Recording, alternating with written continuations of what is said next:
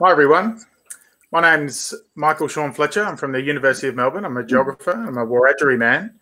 Welcome to Always Was, Always Will Be Land, Water and Fire, the science of a continuing culture, continuous culture. I'd first like to acknowledge country. I'm on the lands of the Wurundjeri on the campus of the University of Melbourne, the central campus. University of Melbourne has uh, campuses on Wurrung country, Yorta Yorta country, Boon Wurrung and Bunurong country. So I'd like to pay my respects to elders past and present of the Wurundjeri and all the mobs in which University of Melbourne has a footprint on, and indeed all the mobs from wherever you are today. I'd like to pay my respects to elders past, present and emerging and recognise that we're all standing on lands that were never ceded. These are Aboriginal lands uh, created and maintained by Aboriginal people for more than 65,000 years. So we're here for NAIDOC Week. So NAIDOC Week uh, celebrations are held across Australia to in each July. Okay, it's been delayed this time because we hoped uh, we'd be able to do things face to face, but this is the COVID world. We're now hitting COVID normal.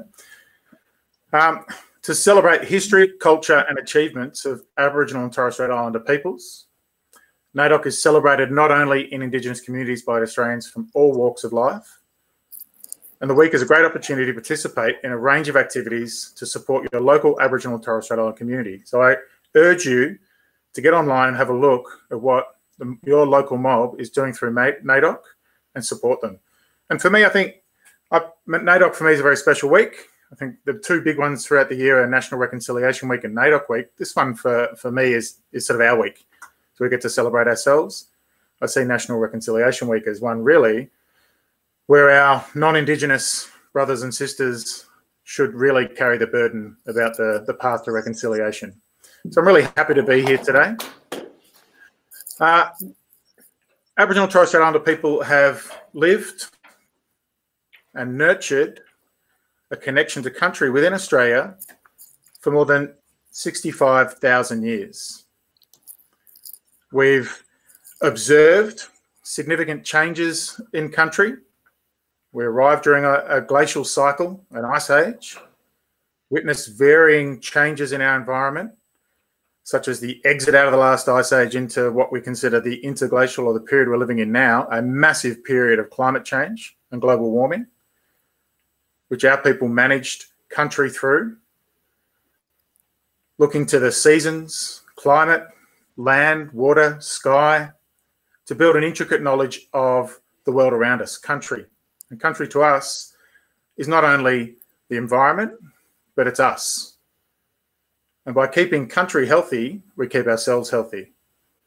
This is one of the founding uh, philosophies, if you like, for caring for country or looking after country of Aboriginal people.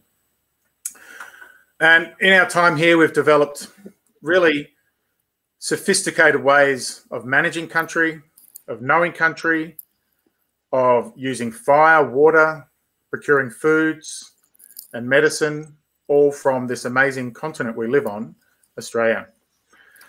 So, the overall aim of this event is really to discuss and assert the role, or what our knowledge is, and how that uh, matches or connects with this thing we call science. Okay, so science in itself that's practiced, say, in the Academy of Sciences, and what most people think of science is essentially a Renaissance post Enlightenment endeavor, which I would argue one of the fundamental principles in this endeavor is a, a dualism between nature and culture. Okay, it's this abstraction of humanity from the world around and the division of it into tiny, infinite particles and, and concepts, and studying them in isolation and understanding the rules that govern them.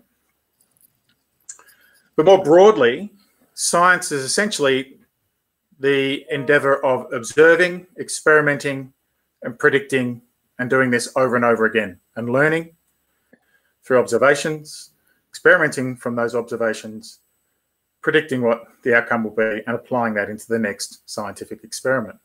This is a, an endeavor, a process that all humans undertake and all humans have undertaken through time.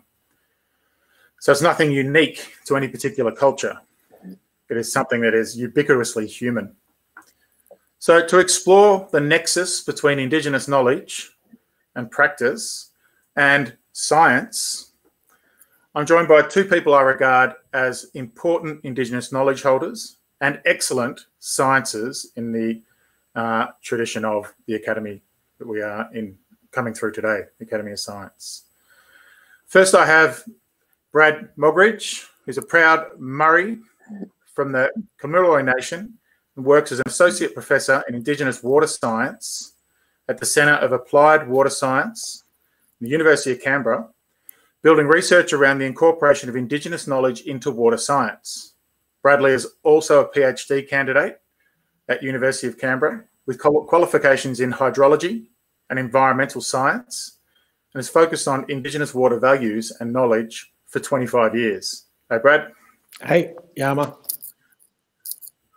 I'd also like to introduce Zena Cumpston, a Barkindji woman, currently working as a research fellow for the Clean Air Urban Landscapes Hub at the University of Melbourne, funded by the Australian Government's National Environment Science Program.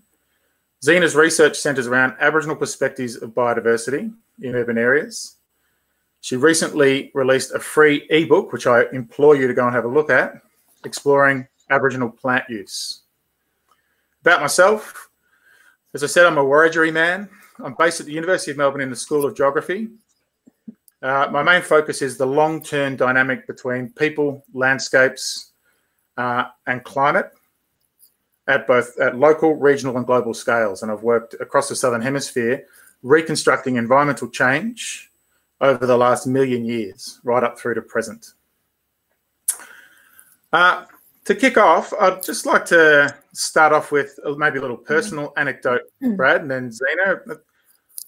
Can you tell us a little bit about your pathway toward science and what inspired you, what drives you, and what you do? I'll go first.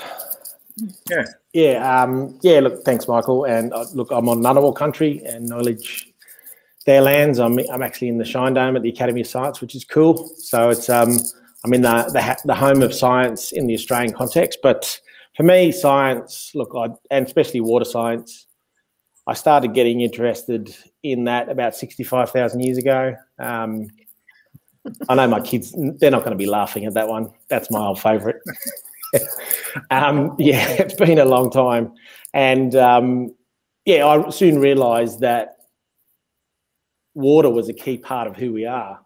And realising that Australia being the driest inhabited continent on Earth, and we have this old knowledge system that is not having its say in in the way we look after water. And I suppose my my journey has been through the sciences and enjoyed science. I was told I'd never be good at science and maths going into year 11 and I thought bugger that I'm going to do it because I love it and I thought I can ask questions and then I can answer those questions and then you know as you mentioned Michael we can replicate it so um, on that journey through uh, physical science, so geology, and then um, environmental science, and then later hydrogeology. Oh yeah, Michael, I'm a hydrogeologist, not a hydrologist. Don't mix me up with those surface water mob. and, and you know that that that part, I could see the opportunities because I, I, you could see that water was always going to be an issue in Australia, um, being such a dry and so so much variability, and we move in a climate um, climate change world, and water is going to be at the key of what we do and, and how we survive. And I think celebrating the knowledge of Indigenous people across the country in water is, is my main goal now. So, yeah, that's sort of where I found myself. Yeah, nice one. Uh, you, Zena, you want to give us a bit of an account about how you got here?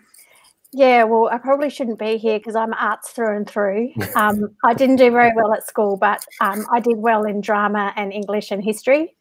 And I went on to become an actor, and I was an actor for 10 years. Um, and then I went back to uni when I was in my mid 30s um, to do archaeology. And um, I kind of got carried away with storytelling again. And um, so, whilst I did a lot of archaeology subjects, I ended up uh, wanting more to tell the stories of our people, maybe not through the lens of that sort of scientific realm. I've been working as a researcher for about the last 10 years, um, and I actually came to my job in science as a complete accident about two years ago. So yet again, I've snuck in through the side door, but um, I am really loving being a part of this world and all the things that I am learning and the amazing people who are so accomplished and um, you know have incredible knowledge like the two of you that I get to hang around with as a um, person who's snuck in. And I guess it's good for me to have come as a newcomer in some ways because um, in all of the work that I've done since I left school, it's all of it's got a through line of storytelling in some way. And I really love to tell the stories of the way that we, um, you know, our mobs interact with country. And I feel like because I see science with new eyes, it's really helped me in that science communication realm because um, I guess because I'm coming to it as a newcomer, it's easy for me to invite others to come along with us. So yeah, I'm really obsessed with plants, and that's kind of how I got this job. Um, it's probably a too long a story to tell now, but I feel very honoured to have been in the right place at the right time because I'm getting paid to learn. That's that's an amazing thing. Yeah, great. I think that's a really important point you touch upon, Zena. And what I sort of mentioned before about, about knowledge and, and science, uh, Indigenous knowledge and science. You I working in the in the historical sense, I've come across dreaming stories and, and stories that they've got information hardwired in them that can only be dated to the last ice age, 21,000 years ago. You know, they can only be. I know of no written account in any other tradition that has hardwired knowledge in it that that's old, that that that is that old. So the fact that you come from what you might call an arts base or a humanities base and, and storytelling is so fundamental to the the way that our knowledge is expressed. And I think knowledge, full stop, is expressed. I think it's um, something that's that's often forgotten my own pathway, and I'll pick up on that in a minute. My own pathway is I was just a kid who loved the bush. Um, you know, used to get my hands dirty all the time, doing all sorts of things in the bush, and I always wanted to be a wildlife cinematographer. You know, go out there and take photos of of, of animals and plants and things like this. Um, and yeah, I, I, went to university, studied to be a teacher, and, and did these geography subjects that really sort of turned my mind on to the how well things are interconnected and how that really reflected what Indigenous knowledge was. It's not splitting away. It's not just about water. It's not just about plants. It's not just about fire. You know, it's about all of that together and people. And I think it's a really important uh, point that a really important journey that you've taken, Zena, in, into science. It, it, it's equipped you to be, I think, a, a very robust scientist, and it's a really good thing. So this sort of segues into well, understanding what do we feel? I'd like to throw this out to you two and whoever wants to answer. It. What do we feel the main barrier is preventing the recognition of our knowledge as science? Brad, do you want to go first? Yeah, happy to. Um, thanks, Zena. Yeah, look, I, I, think there's a number of barriers. I think the culture of science needs to change. Um, it needs to be more flexible in the way it perceives itself, and that's that's on the academies as well. Um, our knowledge per se is not celebrated.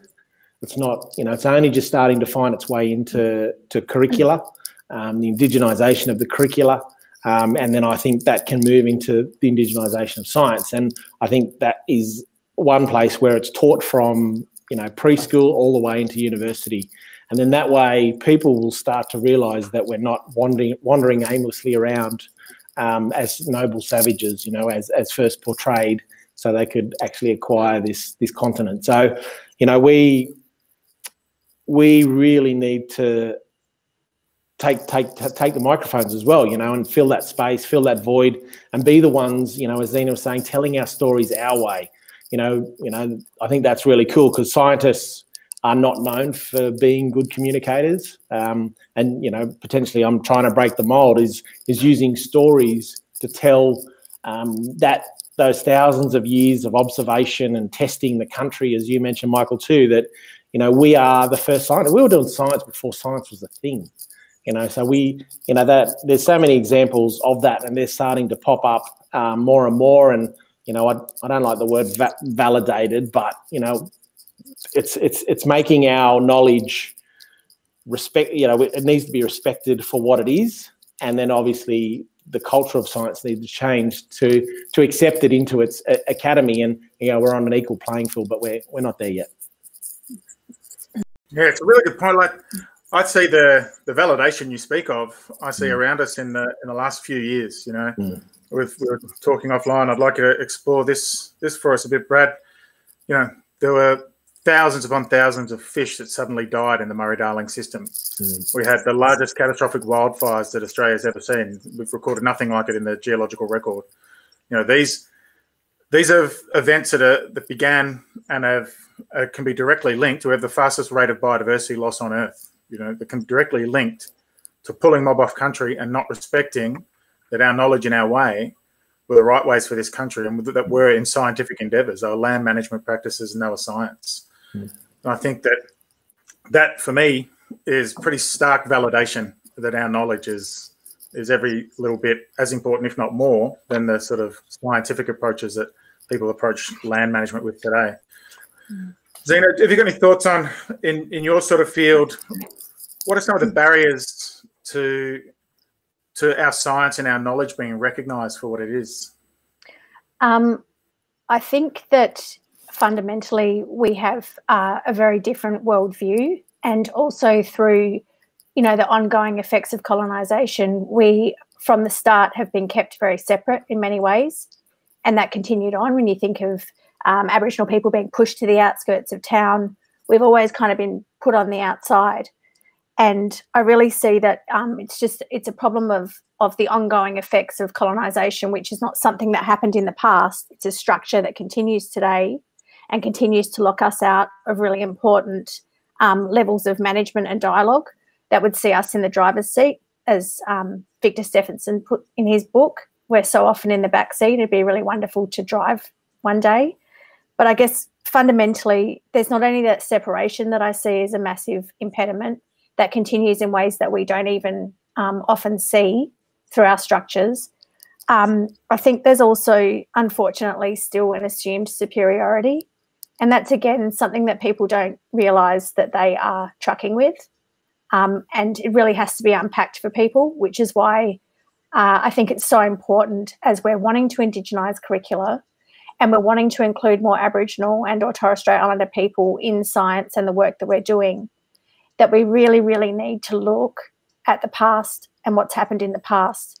Because what we're doing is we're relationship building when we've been apart from each other and estranged from each other for such a long time. If we were in a relationship, we wouldn't just get together and think, oh, we'll just forget about all that stuff.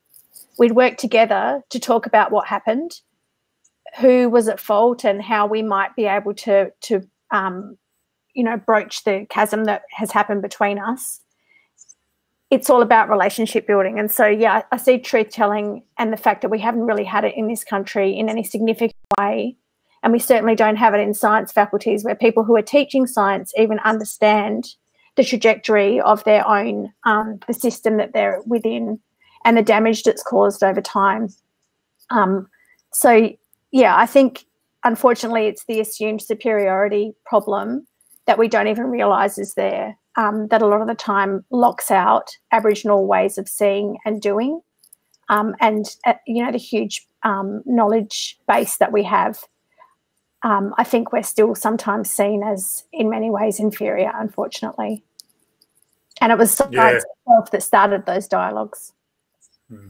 Yeah, you're, you're spot on. You know, and I, I think really the world's starting to wake up, or at least Australia's starting to wake up, and I know that they are in, in the US as well about the role of, of traditional knowledge in wrestling some of these huge challenges we're facing now. Like, and I think the fires were the most obvious one in 2019, 2020, which my research directly pins to the removal of cultural burning from country 250 years ago. You know, like you can you can track the accumulation of fuels.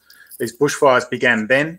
They're being accelerated by climate change Yet our knowledge and the fact that we are capable of, of such a radical thing like, uh, you know, keeping this country under in a radically different way than it that it was that it is now, like a, as an open country, healthy, we weren't given that uh, that agency or, or given the credit that we could do that. And this is all across all across the, in the Maori in New Zealand, in the way they transformed country with fire.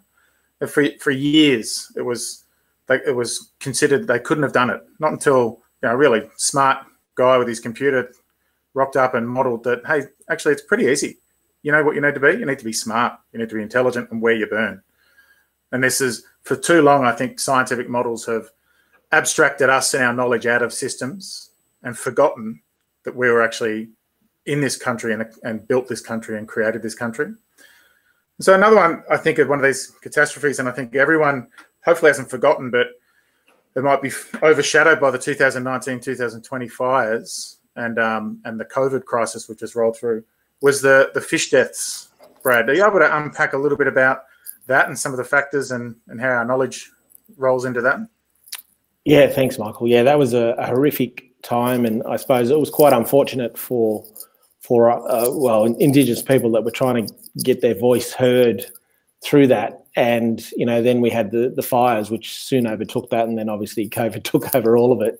Um, but I think really, when you look back at that, there was a lot of a lot of the mob out on country said, "Look, I told you so. It was going to happen. It was always going to happen." When you start over extracting a system, when you start taking water that is supposed to keep the rivers alive, the one that is the low flow, that will fill, you know, replenish some of those deep water holes where the fish, the, the native fish, are trying to survive. Um, if you start taking that water away, you're going to have catastrophic outcomes. And what we saw was that, you know, was the, the rivers dried up, they stopped flowing, and some of those water holes started drying up. And then obviously blue green algal blooms kicked in because of the, the high nutrients and also the, the, the temperatures um, increasing. And, um, and I think that was a, was a key. And then what we saw was two independent scientific panels. One was run by the opposition then, and they, they would come through the Academy of Science, and the other one was run through the, the government, of, um, and it was run through MDBA and uh, for the minister. And you know, those two science panels looked at what what happened, why it happened, what are the issues, and it was lucky for them that science come through and spoke spoke um, in a similar language, but the language that was missing was an indigenous voice. And you know that those those fish those big old fish were people's totems. They were also people's food source. They were people had a spiritual uh, physical and cultural connection to those those fish species you know the big cod um, the big yellow bellies and you know the the blackfish and things like that were just floating belly up. And that voice wasn't really come through. And you know those two independent science panels did not have an aboriginal person on there and you know, when you look at what happened after, you know, we had Uncle Badger talking about, you know, his country and the, the impacts on on his river, his Barka.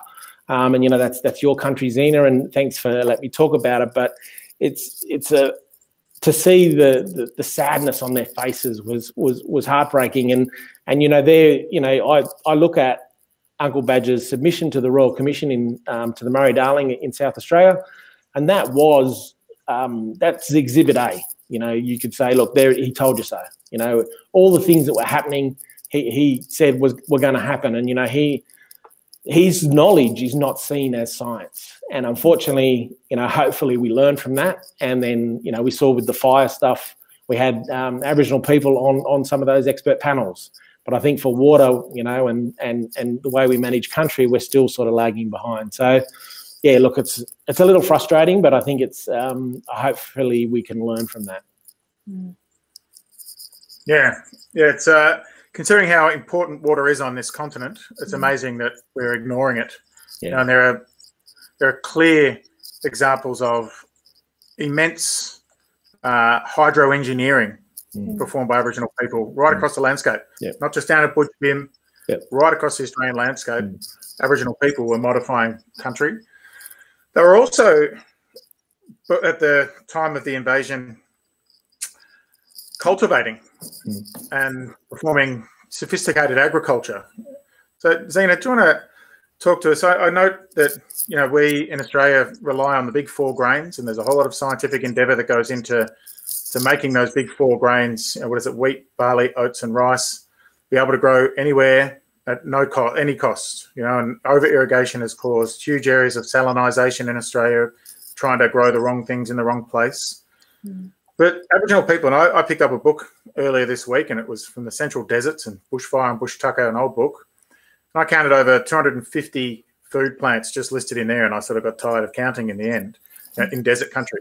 You know, um, you know, what are your thoughts on the over dependence. Well, I, I, think the lack, the failure of Australia to realise the the nutrition and economic potential of its own food sources. Have you got any thoughts on, on that and, and some of the problems that are associated with that? Yeah, so I am very new to this realm, but it's something that I'm really passionate about thinking about food sovereignty and what that might look like in the future, especially for our health and well-being as Aboriginal and or Torres Strait Islander peoples.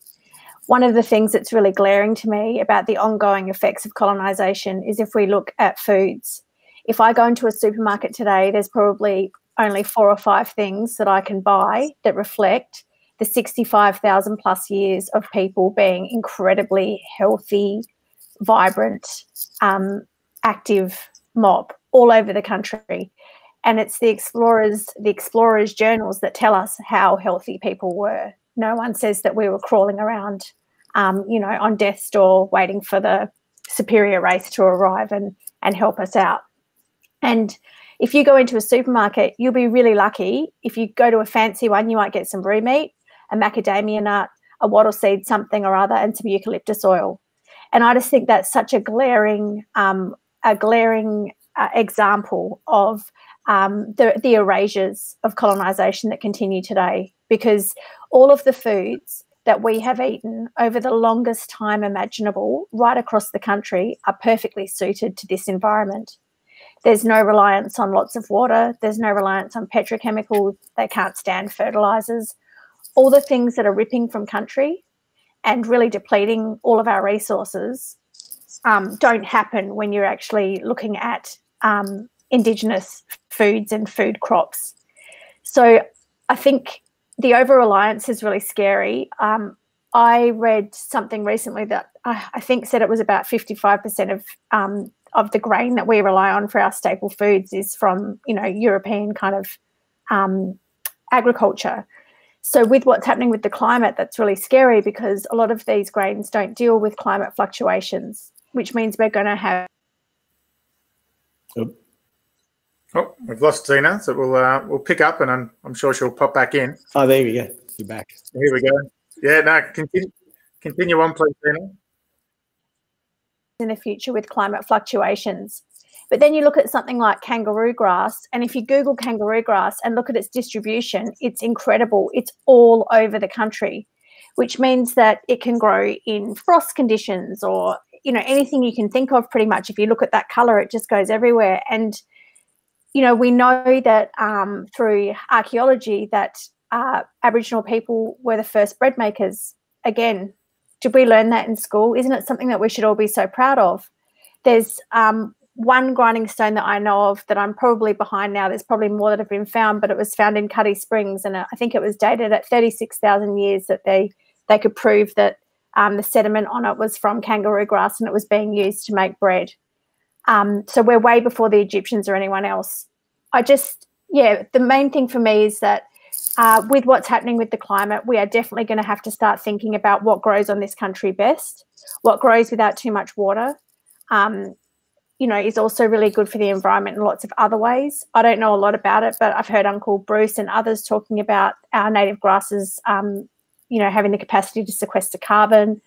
Um, so I think that, you know, there's moves happening in this area, but there's still that assumed superiority that we we have this problem with, where oftentimes um, I think people have tried to grow our native crops with a, an entirely European perspective and lens. So grown as monocultures, grown in the wrong place at the wrong time, um, not knowing how to harvest because they're not using any of our knowledge over a long period of time of how to get that grain in a way that makes it, um, you know, viable.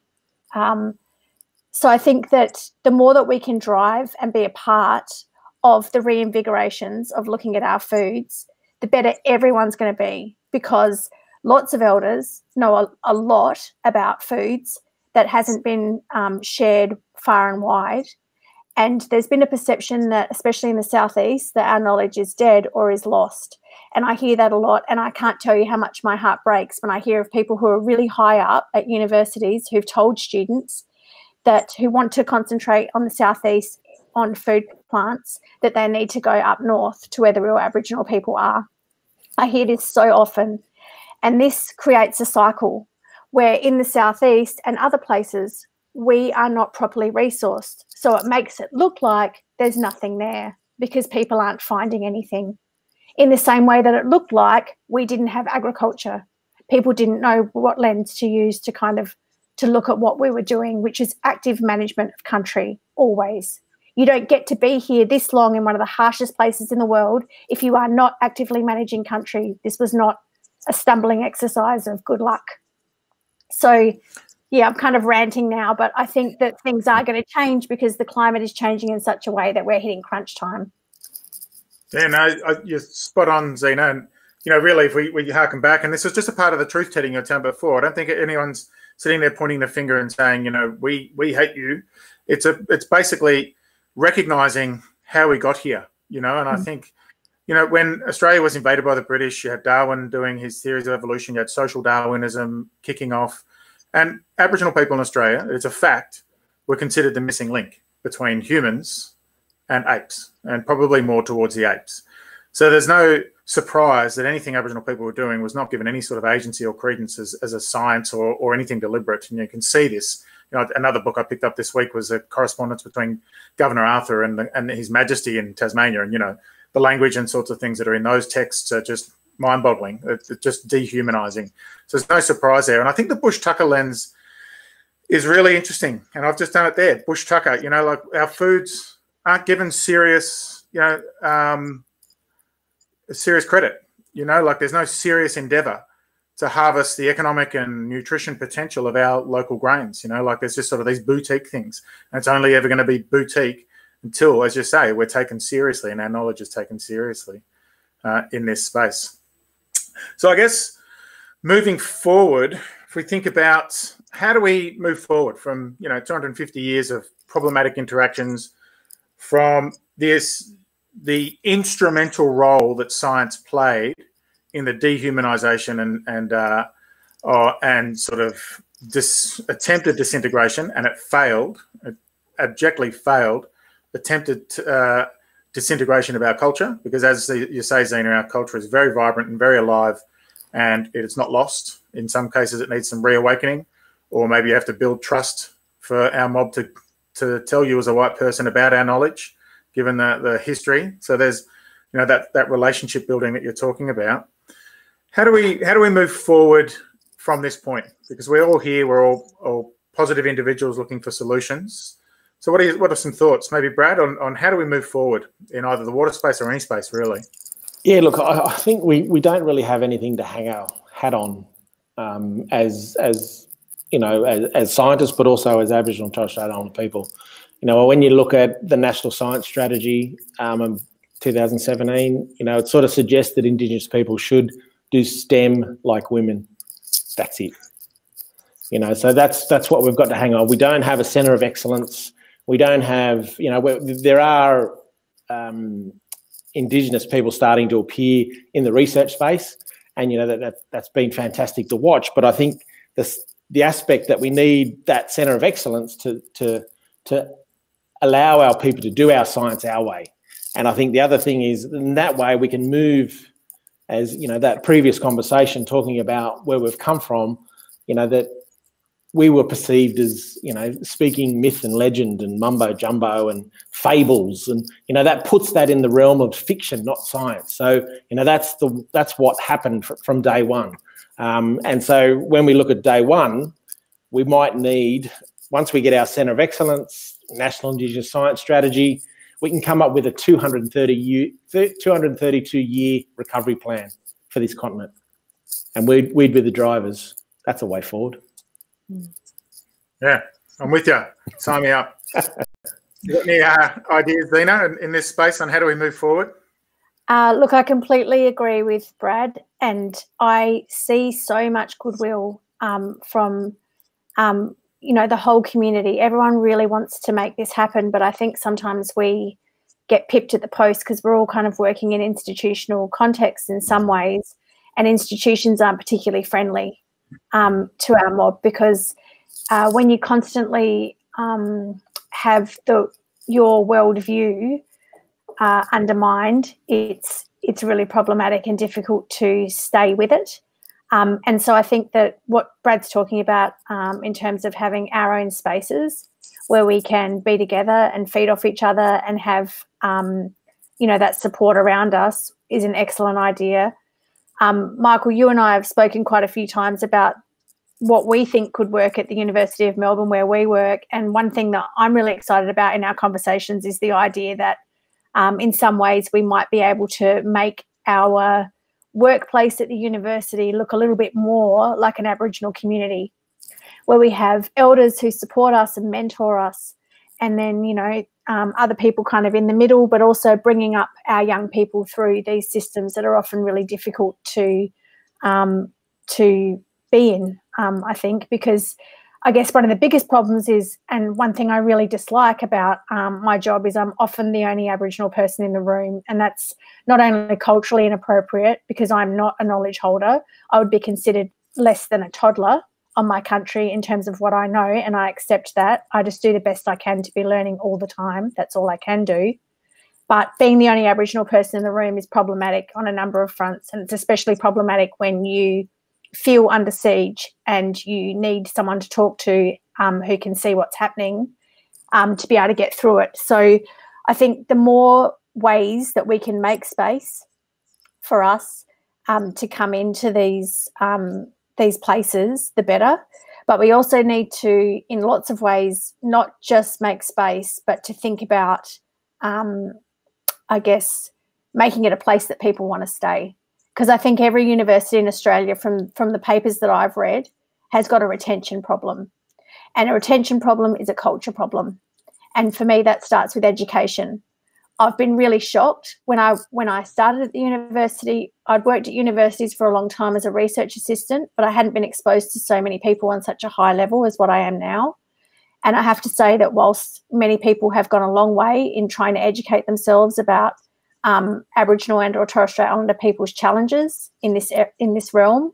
I think there's also a lot of ignorance because when people are incredibly smart and incredibly good at something, it sometimes means that if there's something that they don't quite get, they won't um, they won't approach it with their eyes open. They'll kind of almost say to themselves that it's not there or it's someone else's problem because they're so used to excelling and we've got that culture problem in academia in lots of ways. Someone has to be the best, someone has to be at the top, someone has to be the expert. That's very unfriendly to Aboriginal and or Torres Strait Islander people's ways of knowing. And it also doesn't create a culture where people are on their best behaviour a lot of the time. So we've still got a lot of researchers and people doing the wrong thing, not only by Aboriginal people at, at the in the institution, but by the the communities that they're um, they're endeavouring to work with. So I don't want to sound like I'm really down on everything, but I think we've got a long way to go. And I think that a lot of the time, places which are very prestigious really worry about optics and they should be worrying about relationships. Sometimes you can't see a relationship forming, but it's real and it'll be there forever. Optics are just window dressing. Yeah, it's a great point. I think, and you know, the one thing that can change that culture is just getting more of us mob into the system. You know, I think that you know, in thinking about you know, and Zena and I, as you've said, we've talked a lot about this, and we've even talked about a blackfellow university, really. Like, and there's the aspiration. That's that's the end point of your center of excellence, Brad. Like, I think that you know, these are public institutions that we're working in. They're they're designed to benefit society. You know, we are all essentially public servants from the academy right through to these universities. And to do that effectively, we need to reflect the composition of society. We need to reflect what's going out there. And if we, say, for example, in the Science Faculty, of University of Melbourne, are well, well, well below the mix of, of staff, and this is not just University of Melbourne, uh, right across the country, across the academy, right across uh, the country, we are well below a mix that is reflective of the broader society uh, in, in, terms of uh, the number of Aboriginal people doing work and then that is usually biased towards Aboriginal people who are in, in fixed term positions, tenuous employment, lower down in the vertical structure of an institution. So there's a real need to make meaningful progress in engaging. And one thing I, I think from, for my mind that help us in our way forward, and we've talked about, you know, we've talked about 68,000, 65,000, whatever, it's just a number. It's, it's old, really, really old. It's more than 3,000 generations of people more than 3,000 generations of encoded, hardwired knowledge on how to live in this country through some of the biggest changes in environment, climatic, and all these sorts of things that the world has experienced. You know, it's huge, huge changes, or at least uh, humans have experienced in this in this country. Um, we need to start recognizing other qualifications of knowledge, I think, and bringing people in who, you know, the academy sets the rules. Essentially, it's a it's a club where you set the rules and you decide who comes in and who doesn't and in a situation where you know, there's not equal access for everybody to education and the opportunity to get into university and then succeed, and Zena's already touched on the attrition rates. Aboriginal students are at least twice as likely to withdraw from subjects. They're infinitely less likely to even enroll in university in the first place. And they're half as likely to turn their undergraduate degree into a postgraduate degree and do some research in the science space. So you know, we're losing people all the way through there's no real surprise when you set the bar in in these institutions as having have to have a PhD or something like this, and not recognizing the wealth of knowledge that sits in people like Uncle Badger, yeah. people like Uncle Dave Wandin, people, yeah. you know, all these people that we know, who, you know, I've got a PhD. I'm sitting here operating this space, but I don't know a fraction of what what they do, you know, about country and and the way that, that things work. So I think broadening the horizons on what a knowledge holder constitutes can really help in that endeavor, I think, Zena, as, as, a, as a way forward. Mm-hmm. So I guess to sort of uh, bearing in mind time and maybe people have questions, I think we've touched on a few things here. And without once again um, trying to labour the point of, because I feel very, very privileged to be able to serve society. I feel very privileged to be a scientist. I feel very privileged to be able to uh, make my culture come through my scientific work and uh, and really help in the endeavour to reassert Indigenous knowledge into society. But there are certain things that come along with being a black academic, an academic in in a an Aboriginal academic. Um, for one, and I think it's it's really incumbent upon us maybe just to to share some of our stories. The one that gets me, you know, that I face a lot uh, is the appropriateness of asking me to speak for other people's country or other people's things.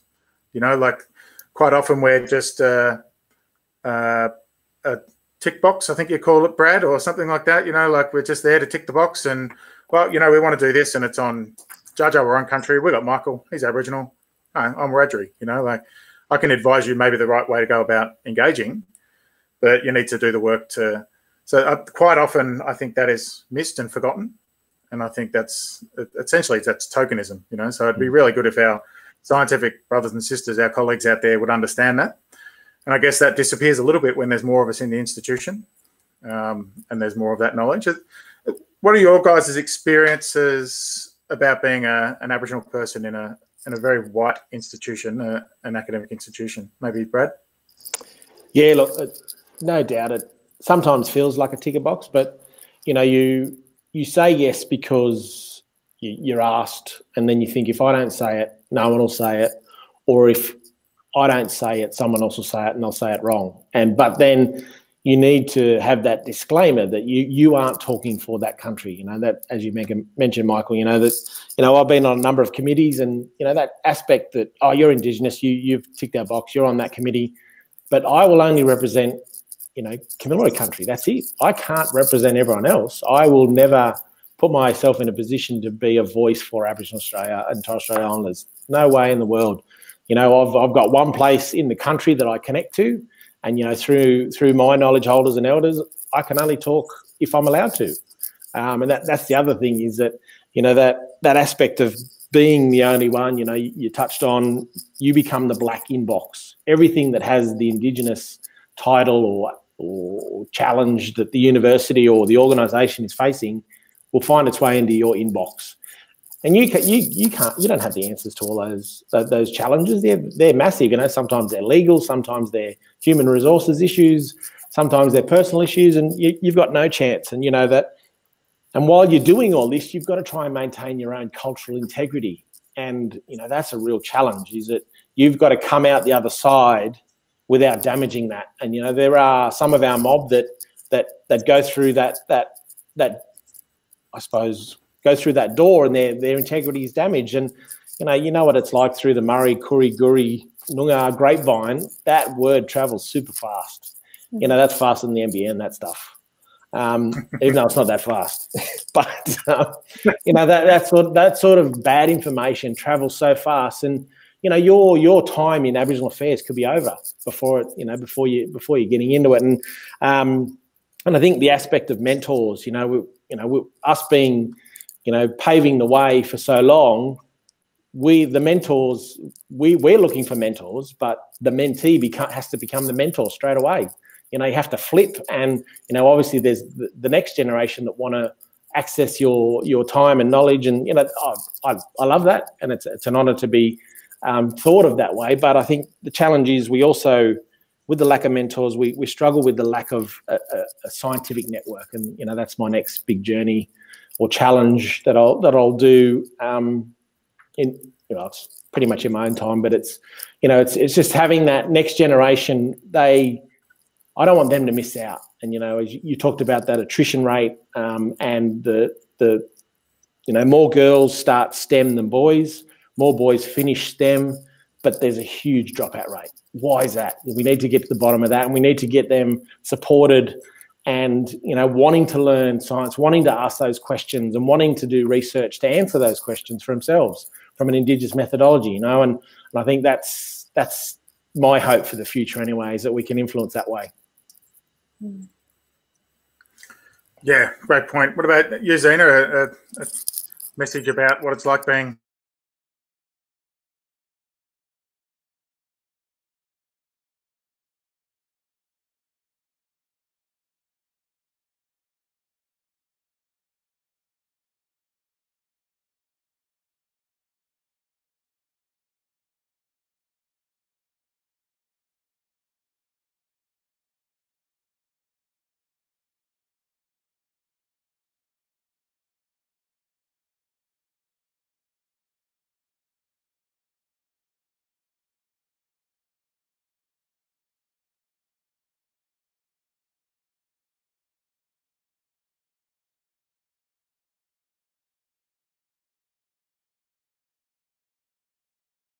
sometimes I feel like I'm being mined.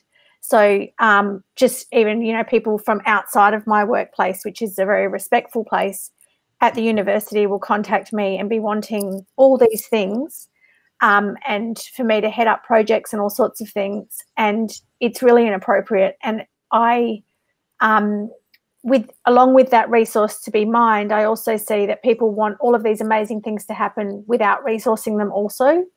So I've had people come to me and say, "Oh, can you lead this project? We want to talk about Wurundjeri seasons on the Parkville campus, and we want elders to be involved, and we want young people to know this information about Wurundjeri seasons and to realise where they are." And I'm like, "Oh yeah, that sounds really cool." Um, you know, what's your budget? Oh, we've we've got photocopying budget, and you just think, how could I get elders to be involved in this? Like, this is not putting food on the table, but yeah, I just think you know, realizing that we can do so much, but it has to be resourced. And also realizing that when you get um, mob in to positions, you need to leave them to do what they need to do and not think of them as a resource for you to tick all of the aspects of what you need to get done done. Because I know for a fact that I'm doing two or three jobs at any one time. I'm never just doing my research job. And almost all Aboriginal people I know talk about the same thing the the burden of the extra work. But if someone asked me to go and talk to young people who are coming to the uni and there's a huge Aboriginal mob in there, I'm not going to say no. But I get really sick of never being offered to be paid as well. You know, it's a lot. It takes time away from my family. It often happens after hours. I just think we all need to think about resourcing a bit more because we're running Aboriginal and Torres Strait Islander people ragged. And money's yeah. not everything, but I would like to have a nicer holiday for all the time I get away from my kids. it's a, it's a really great point, Zena. You know, I think for when the Reconciliation Action, no, the Reconciliation Act is, you know, more than a, a, decade, probably two decades old now, you know, and, and there hasn't been much movement in some institutions like this. So we've got to get serious and start putting a money where the mouth is and and affecting some change. But there's a whole lot there. There's about the pathways into university. There's about making us a place that mob will want to come to. All these sorts of things wrapped up in it. It's a, pretty complex net of uh, issues that are, you know, but that they're challenges, and everyone, I think, I love a challenge, and I think that's, you know, every bit we can do, we can we can make a difference. And I think that you know you you two are, are shining examples for our mob. You know, like uh, people can look up to to people like you and and other Indigenous academics who are doing such amazing work and and aspire to that. And I think that you can't undersell the importance of your role uh, in community like that. So I think it's uh, it's really amazing. Now it's we've only got a few minutes left, so I thought I'd um, could continue on forever, really. But um, I thought I'd segue into a few of the questions. We've got a whole bunch of questions that um, we've been asked, and one for you, particular Zena. How might connection to country be improved in urban environments when native biodiversity continues to be threatened by urban development? Question, but I kind of see that um, we can't all be Aboriginal and or Torres Strait Islander people, but we can all embrace our role as custodians of country. And I do a bit of work with young people, and that's one thing that is, I guess, my key message is that we all have responsibility. And even the small things that we can do in our own yards in an urban environment are going to help all of the animals, of which there are many threatened species that live in cities, especially. Um, there's so many things that we can each do to make a difference in our own backyards. So, for example, the more that I'm learning, I'm now not planting my garden thinking about my family and what we're going to eat entirely. I'm more thinking from my Aboriginal perspective of like, how am I looking after all the animals in my little yard? All the insects that need um, to be here so that the birds have got something to eat, so the lizards have got something to eat, etc., etc. So I think in terms of urban environments, we've very much been wiped out um, of the visage. So you can't really see um, Aboriginal people's um, belonging in these places. But there is no place in Australia that does not have one traditional owner group or more, whether it's urban or out in the bush, that doesn't speak for it. Like everywhere has someone speaking for it, and everywhere has Aboriginal um, people and up the top Torres Strait Islander people who know that country and so, any way that we can connect with the mobs um, on whose country we're on in a respectful way is a really great way, I think, of um, of promoting caring for country in urban environments. And you know, we're really lucky in Melbourne. We've got um, you know traditional owner groups who are really strong and who have people within them who are amazing at sharing narratives. Um, so I think there's a wealth of information out there for people and there's also a, a huge amount that we can do um, in our own um, lives and in our own places where we live and work that can um, really help support biodiversity.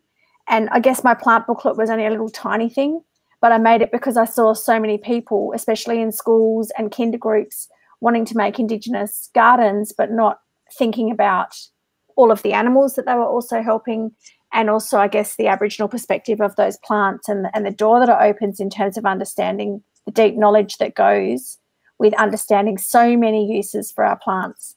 So yeah, I think it can be difficult in an urban environment. A lot of people don't even realise they're on Aboriginal country when they're in an urban environment, but people are waking up a bit more and, and there's lots we can do in that area to kind of educate ourselves because we've got mobs that are that are telling their stories really powerfully. Yeah, great, great answers, and it, it, makes me think. You know, there are dreaming stories out there and songlines out there that from mob that have invasive animals in them. You know, like uh, there's we have to also think about what we mean by biodiversity and and healthy country and all of this sort of stuff. There's this. I think that one of the barriers to um, getting people managing country is this myth that it's a landscape to museums or you've got to go back to a certain state. You know, there's one thing about all humanity, all humans, is that we adapted dingoes three and a half thousand years ago, whatever it is. You know, like things have been introduced and they're they're incorporated into the system. So I think there's a, for my mind, we need to debase ourselves of what we think is kind of um, healthy land in terms of oh no, there's a uh, there's a weed in there, therefore there's no hope for it. You know, like I think that we can we can shift our ideas around and and you can get native plants, um, foods, other important species in to a mix where there are some non-native plants as well. And I think that we need to move forward. I, I think that's one of the barriers or one of the things that we spend a lot of money on in this country, wasting time for. There's some really harmful pests and things like that. But this notion that we can somehow control the the world around us to such an nth degree that we can we can mitigate these sorts of things. Slight tangent, but um, okay. So there's a good one here for you, Brad. And it sort of touches on a bit. I'll, I'll read it verbatim, although I'd challenge that that um, loss of knowledge is not the right word, perhaps, but I get the point. As an Aboriginal man working in the water industry, I have the following question. In working with traditional custodians about what they would like to see on their own country, there is a loss of knowledge and a lack of people within their organisations to be able to provide this information. How do we support them or encourage young people to get into this field so we understand the colonisers' policies while incorporating our cultural knowledge into the management of this land and avoid missing the opportunities where Aboriginal people can have a stay? It's a long one. Oh, that's huge. that was like Zena's question. we got another hour? yeah, yeah, we've got another hour. Yeah, look, it's I suppose it's one thing is we need to see Indigenous people leading and telling their stories about water in that space. You know, if we're not telling it, then it's not being heard, and or as I mentioned earlier, someone else is telling it for us.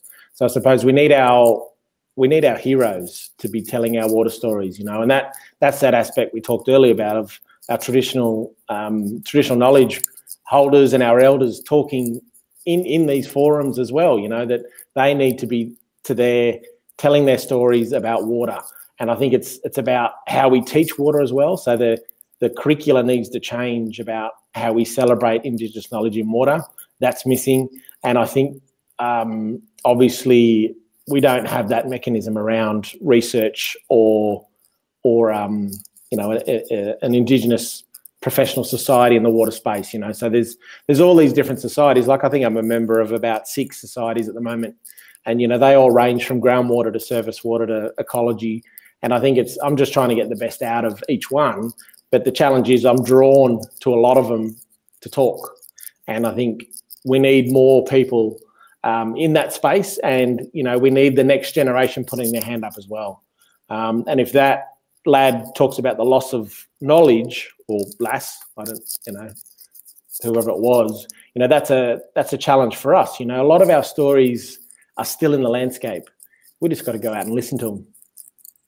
You know, we've got to have that time as as Aboriginal and Torres Strait Islander people to go out on country, connect with country, sit down and do science our way and understand country the way it was, you know, to try and reconnect with our country, you know, and I think that's the thing. Like I'm I'm working on my country at the moment in the Gwydir wetlands. It's a Ramsar site, but for the last 200 years, it's been in private land ownership.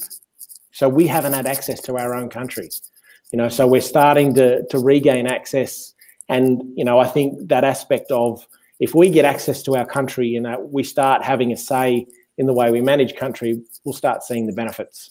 And we're already seeing that with threatened species. We're seeing that with caring for country and working on country. Um, the ranger groups, you know, next I'd love to see river rangers. You know, that's our next. That's on my next on my hit list with the 232 year uh, recovery plan and the Centre of Excellence. Long list. yeah, no, that, that's great. Um, so we're going to wrap up. There's just a small question here. Um, on, and I'll, I'll have a crack at this, Zena, give your voice a break if you like. Um, irrigation has happened all over the world, not just Australia, and it's been impacting environments everywhere. What is the solution from a point of view of Indigenous knowledge? I think that the overall point is that I don't think we should or it's appropriate to completely abandon these big four grains. You know, like we, we need food, we need to produce uh, high quantity food. But I'll draw an example for this thing called Goyder's line for those who know in South Australia. And, and it was a line drawn across by what scientist, a geographer probably. They seem to do all the coolest stuff. um, the, that if you planted above or you decided to move some kind of agricultural industry above this line in South Australia, north of this line, you would eventually be hit by a drought. You would fail. You know, he said, uh, he said there's a safe, safe operating space to operate below. But above this line, you know, there are reports of mob growing grains, living healthy lives, having a really productive life on traditional foods. You know, so it's about a mix. It's not about, and this is, I think, really is reflective of of kind of, uh, and I'm not having a go at the question here, but this simple simple notion that society's hooked on is single fixes, you know, desalinization plants or nuclear power plants, rather than diversified, you know, and we know that diversity promotes resilience. If changes come, if you're more diverse, you're going to be able to withstand that. So it's not about completely uprooting every single wheat, barley, oat plant in the country. Hmm. It's about planting the appropriate things in the right country. You know, in places like that above Goyder's line, there are there are native grains out there. Let's work on those. Let's improve those. Let's do whatever we can for those. Let's get the right planting. Let's understand their ecology. Let's do all these sorts of things and turn that into productive land and, and productive country. I think is more the point. It's hmm. not necessarily about just overturning existing agriculture and whacking in a bunch of native foods. It's about it's about the appropriate mix on country. Mm. All right, so we're kind of out. I, sorry, I took over that one, Zena, but I, I, feel a little bit passionate about that one. No, I'm glad. Um, yeah. So I really, really want to thank you too. I feel really privileged to have been able to talk to you. You know, I, I admire you both greatly from afar, and Zena from a bit less afar. And even though it's been COVID, with, there's been no face to face for for a long time. Um, so I'd like to thank you. I think it's been a stimulating conversation. I'd like to thank everyone listening for um, the wonderful questions and for for listening to us have a yarn. And I hope that uh, you've taken something from it. I certainly have. I've learned a bit off you two through this conversation. And um, yeah, here's to moving forward in a place in a society where Indigenous knowledge is recognised as science. I would like to flag that there's another sort of sister event, cousin event, whatever you want to call it, um, on the skies um, on Thursday from the Academy of Sciences. So please go along there and see another three really excellent Indigenous science scientists talk about uh, sky and the stars uh, as a part of this um, dual um, offering from the Academy of Sciences. So thank you to the Academy of Sciences. Thank you, Brad and Zena, and thank you everyone for watching. Thank you. Thanks, Thanks for having me. Yeah. Yeah, night.